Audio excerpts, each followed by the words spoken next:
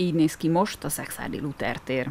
Így pedig azokon a látványterveken, amiket a Zöldváros projekt tervezői álmodtak meg. A Városközpont rehabilitációs program a tervek szerint idén júliusban kezdődik el, és októberben már át is adják a területet. A munkálatok részeként megújul a 160 lakásos előtti terület, a Szent István tér, a múzeum környezete, a Luther tér is. A zeneiskolától egészen a Luther térig újulnak meg a terek, burkolat, legfőképpen burkolat és növényzetnek a felújítása, megújítása, egy picit a zöldfeletnek a, a bővítése. Itt nyilván nem lehetett nagy zöldfelet bővítést, ugye, mert azért ez a belvárosnak a, a, a központi része, tehát itt a tereknek azért funkciós szerepe van, de amennyit lehetett, az, az benne van ebben a projektben.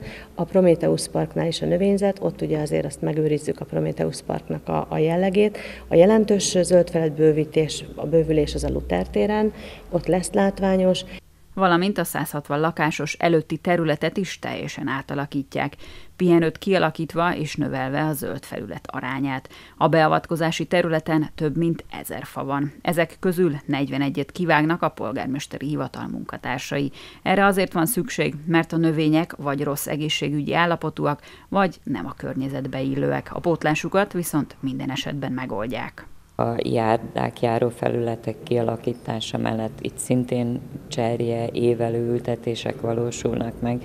Én azt gondolom, hogy ezek után végre el lehet azt mondani, hogy úgy fog kinézni a városközpont, mert ugye ezek a terek, most négy teret említünk, tehát ezek pici terek, egy kisvárosnak a városközpontja. Én azt gondolom, hogy végre méltó zöld felületei lesznek. A kivitelezői közbeszerzés tehát hamarosan elkezdődik, a szexárdiak pedig a tervek szerint ősszel vehetik birtokba a megújult tereket.